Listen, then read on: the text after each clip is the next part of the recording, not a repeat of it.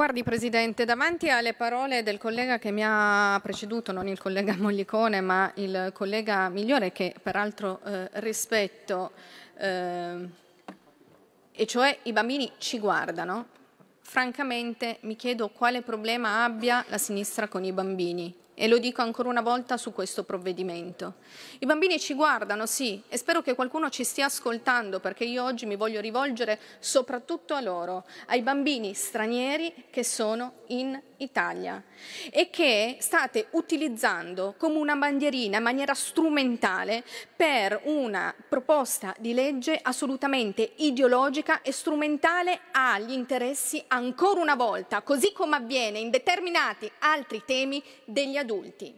Io Presidente credo che i bambini che ci guardino, che ci guardano, vogliano vivere anche quegli stranieri in un paese che affronta temi prioritari, dove certamente c'è il loro destino, ma il loro destino è se ah, vivono in un contesto che sa affrontare le emergenze del momento. E invece noi si ritrovano, i bambini che ci guardano, con un Parlamento che nel giorno in cui la benzina schizza ancora una volta le stelle, la crisi internazionale ricade sulle nostre teste, fa terrore non soltanto ai cittadini italiani, ma anche a molti stranieri per bene, si parla non solo dello Ius Scole, ma anche della eh, cannabis libera. Io voglio proprio vedere se quei bambini che ci guardano e le loro famiglie sono tanto contenti di vedere che la loro proposta di legge portata avanti da, la, proposta, la proposta di legge che voi sbandierate a loro favore è portata avanti dalle stesse eh, forze politiche che regalano la droga per le strade. Io non credo che questo parallelismo vi faccia tanto bene, amici della sinistra, non credo proprio e credo che oggi apriranno gli occhi, a maggior ragione apriranno gli occhi i cittadini italiani rispetto a quello che fanno alcune forze di maggioranza in, questa, in questo Parlamento e apriranno gli occhi sul modo strumentale in cui portate avanti proposte di legge tirando per la giacchetta i bambini e i cittadini che ci sono in, questo, in questa nazione. Noi chiediamo che eh, entrambi i provvedimenti portati avanti strumentalmente in quest'Aula vengano espulsi dal calendario di quest'Aula. E lo chiediamo in maniera particolare proprio oggi perché eh, ehm, ancora una volta, come ho già detto, questo parallelismo e questo dibattito avviene in maniera strumentale e alle forze che si dichiarano di centrodestra presenti in quest'Aula, io voglio dire solo una cosa. Non avete fatto questo governo probabilmente per eh, approvare lo Ius eh, Soli mascherato? Non avete fatto questo governo per approvare la cannabis libera? Non avete fatto questo governo per, fare, per dare spazio, come ho sentito, alla Sharia? E allora staccate la spina, fuori dal governo, questo governo deve andare a casa. Arrivando al merito della, della, del provvedimento, basterebbe riascoltare sia l'intervento del relatore che l'intervento del collega Migliore eh, per, che ehm, hanno introdotto la, il loro supporto a questo provvedimento per capire cosa c'è dietro. Entrambi i colleghi a sostegno dello Ius Scole hanno motivato il loro sostegno richiamando gli italiani all'estero e quasi minacciando di togliere la cittadinanza agli italiani all'estero e criticando lo Ius Sanguinis. Questo è stato l'incipit e questo è stato il modo in cui hanno introdotto il loro sostegno allo Ius Scole e hanno così gettato la maschera nel loro sentimento fortemente anti-italiano. E infatti questo è un provvedimento anti-italiano e la condotta che viene assunta in quest'Aula è profondamente anti-italiana nel momento in cui si chiede di eh, discutere questi due provvedimenti davanti al contesto generale che invece attraversa l'Italia. Si è detto anche no, possiamo discuterlo questo provvedimento. Mm, questa questione di urgenza che pongono Fratelli d'Italia, eh, ho sentito adesso eh, i colleghi della Lega, mm, non, non, modifica eh, le, i calendari, le, la, la possibilità di andare a discutere altri provvedimenti che vanno ad incidere invece su quelle delle emergenze. Benissimo allora non abbiate più la faccia di porre le questioni di fiducia chiamando all'urgenza e alla mancanza dei tempi. Non abbiate più la faccia di porre ancora una volta un ricatto nei confronti dei parlamentari ponendo questioni di fiducia, perché alla prossima questione di fiducia verrà ancora fuori una volta le vostre bugie. Ho sentito parlare di discriminazione, ho sentito il Presidente Brescia dire ma a chi toglie? E poi dire eh, che il paese eh, è un paese che ha accolto certamente tanti stranieri che hanno costruito in Italia la propria casa, la propria famiglia. Sì, ma non ha accolto soltanto loro. Purtroppo noi tutti i giorni sulle nostre coste vediamo un'Italia che accoglie tutti, che non fa differenza sul rispetto delle regole, che non distingue lo straniero che sta in Italia, che lavora, che paga le tasse, che manda i suoi figli a scuola, da quello che invece non lo fa. E allora la prima discriminazione viene proprio da chi non fa questa distinzione. I primi discriminati sono proprio gli stranieri che hanno fatto un lungo percorso di integrazione. Io visto che eh, sento tanta anche saccenza rispetto a questo tema, come se la verità fosse sempre soltanto dall'altra parte e invece noi fossimo persone esotiche, brutte, che assolutamente non vivono la realtà di molti paesi, di, molti, eh, di molte persone straniere che vivono in Italia. Io riporto qui in quest'Aula una, una um, dichiarazione, un'affermazione una, che mi ha fatto proprio una cittadina, eh, una cittadina straniera, ehm, un, una persona straniera divenuta cittadina, che mi ha detto, uno non basta, uno che rispetta le regole non basta per fare, per, per riconoscere un processo di integrazione compiuto in Italia. E allo stesso tempo io dico, la cittadinanza non basta. Non è la cittadinanza che fa l'integrazione, è l'integrazione che fa il cittadino e fa la cittadinanza. Ed è vero, collega Migliore, che questo è un paese dove l'Italia deve garantire il percorso scolastico, deve garantire cure ehm, gratuite, deve garantire l'accesso ai servizi essenziali, garantisce addirittura il reddito di cittadinanza a chi cittadino non è, l'Italia il suo lo fa.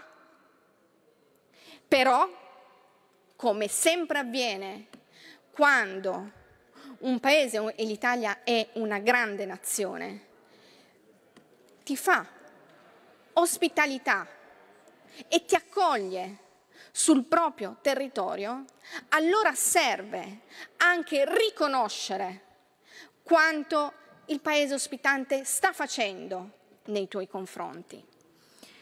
Ed è qui uno dei punti principali che ci divide.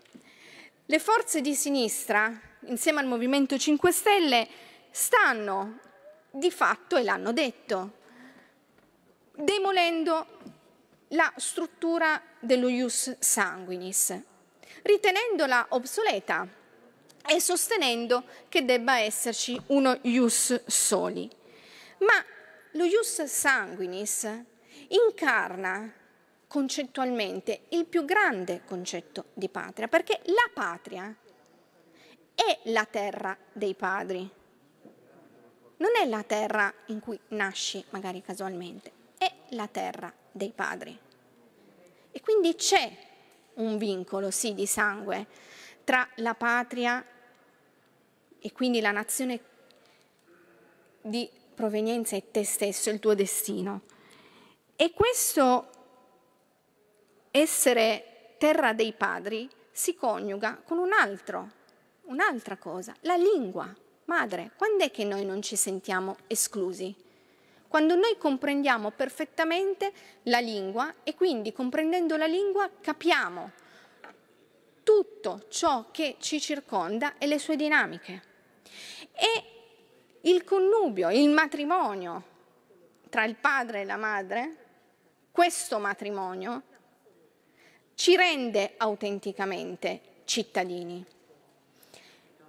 L'altro giorno in piazza Capranica è stato inscenato un matrimonio a sostegno di questa legge, io sono andata a approfondire eh, il flash mob che è stato realizzato. E la prima osservazione che è naturale fare è che in Italia ci si sposa a 18 anni. Perché? E soprattutto non ci si sposa per procura, perché un genitore lo chiede per te. Allora, oltre a essere eh, impropria l'iniziativa in sé rispetto alla tematica, questo ci introduce nelle grandi criticità di questo disegno, perché, disegno di legge, perché è stato detto un po' di tutto.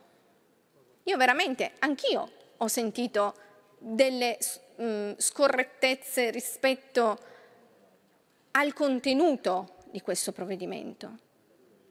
Intanto questo provvedimento non prevede che il minore frequenti dei cicli scolastici. Può, provvedere, può frequentare uno o più cicli scolastici, può, ma può anche frequentare un qualsiasi corso di formazione perché maturi i cinque anni per acquisire la cittadinanza italiana. E questo non è ius scole, perché lo ius scole prevederebbe come minimo la scuola dell'obbligo, questo prevederebbe lo Ius Scole. Voi non prevedete la scuola dell'obbligo e quindi questo non può essere definito uno Ius Scole e il percorso di acquisizione della cittadinanza non può essere associato alla frequentazione della scuola dell'obbligo perché non è un requisito richiesto. Sono richiesti cinque anni di frequentazione di un qualsiasi corso. Facciamo chiarezza. E quindi, visto che i bambini ci vedono, voi non fate distinzione tra il bambino che inizia le scuole elementari, va alle medie e poi continua al liceo, rispetto all'altro ragazzo che entra nel nostro territorio, non conosce la lingua italiana e fa cinque anni di un qualsiasi corso di formazione per poter acquisire la cittadinanza. Voi questo non lo fate. E senza fare discriminazioni, senza dire, senza fare discriminazioni, questo è. Quindi non distinguete il percorso da non percorso. E ancora di più, neanche fatto una valutazione nel merito. Avete provato con un emendamento raffazzonato a dire che dopo cinque anni di elementare bisogna uscire dalle elementari per avere la cittadinanza. E eh, vabbè. Se nei cinque anni sono computate le scuole elementari. Ma per, se nei cinque anni non si maturano gli anni di scuola elementare, ma si maturano gli anni di un qualsiasi corso, non c'è nessuna valutazione. Eh? Non è verificato se conosce la lingua italiana o meno, non è mm, verificato se ehm, ha le basi, ehm, conosce le basi, le, la nostra Costituzione che ha le basi del nostro ordinamento. Niente di tutto questo. Niente di tutto questo. Avete detto che è un provvedimento che riguarda i ragazzi, che è fatto per i ragazzi. No, no, è fatto per gli adulti. Mi spiegate che senso ha in una nazione che deve garantire la scuola dell'obbligo, deve garantire il welfare, deve garantire cure gratuite, deve garantire giustamente la socialità, anticipare la soglia dell'acquisizione della cittadinanza dai 18 anni a un momento in cui il diretto interessato è ancora minore? Perché?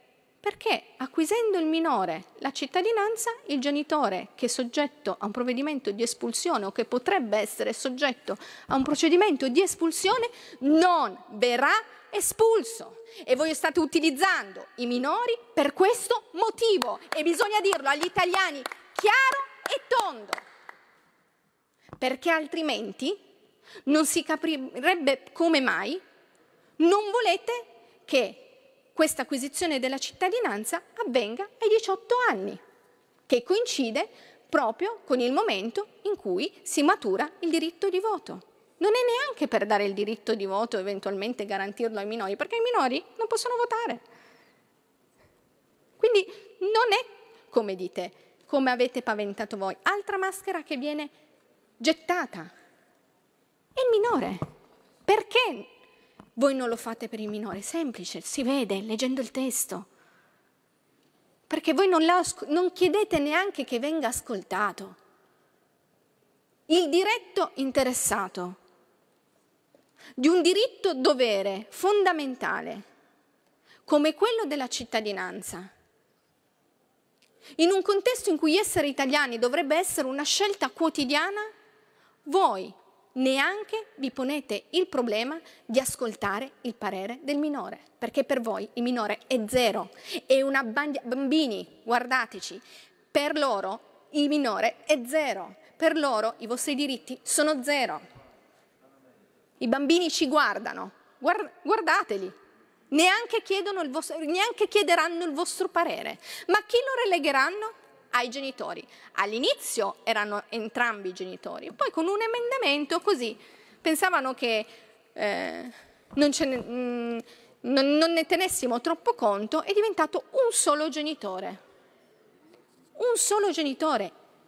E questo è un altro colpo gravissimo al nostro ordinamento, che si fonda sulla parità genitoriale, dove il papà e la mamma hanno, la stessa, hanno gli stessi strumenti e la stessa potestà nei confronti dei figli.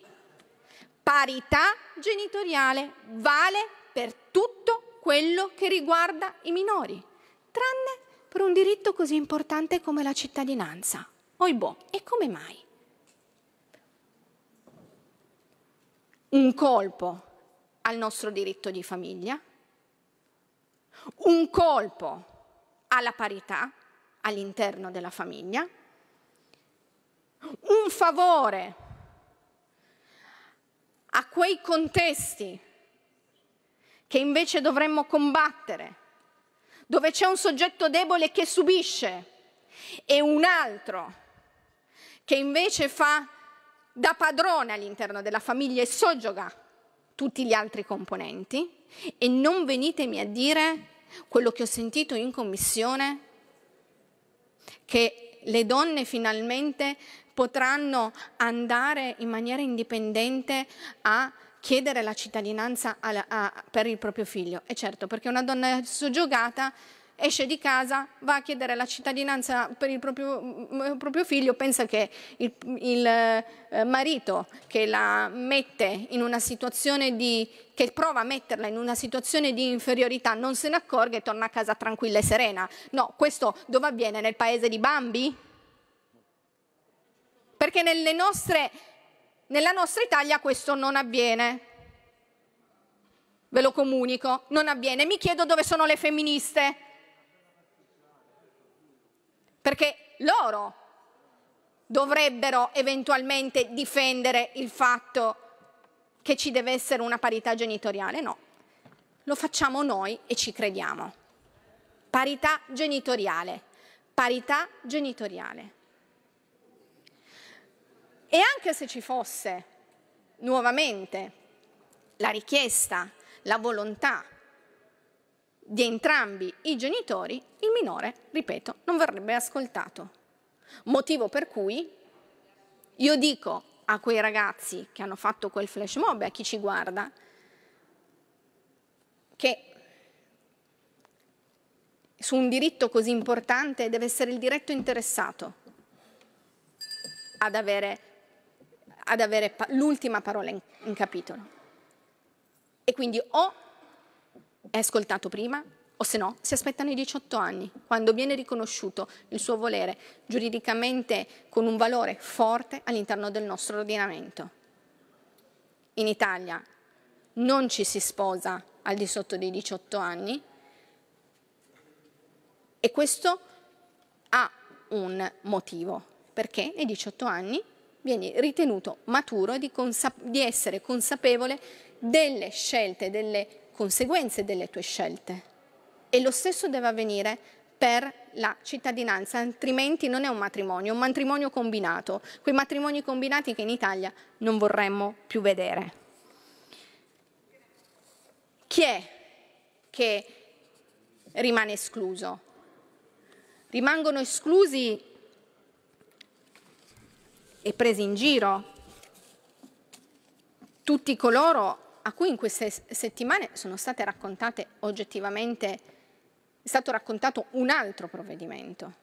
Addirittura il Presidente Fico, addirittura il Presidente Fico ho letto che nel giustificare questo provvedimento ha detto eh, davanti a, a, a, dei ragazzi, questi ragazzi Conclude, hanno dieci, concludo, questi ragazzi hanno dieci anni hanno fatto le scuole dell'obbligo, non capisco perché non debbano diventare cittadini italiani e perché eh, non debba passare lo Ius Schole. Semplice, perché questo Ius Schole non è uno Ius Schole, non prevede la scuola dell'obbligo e non prevede che i ragazzi devono essere, stare da dieci anni in Italia. Neanche il Presidente Fico conosceva correttamente questo provvedimento. Questo la dice lunga su cosa avete raccontato a, agli italiani in, questo, in, questi, in questi mesi.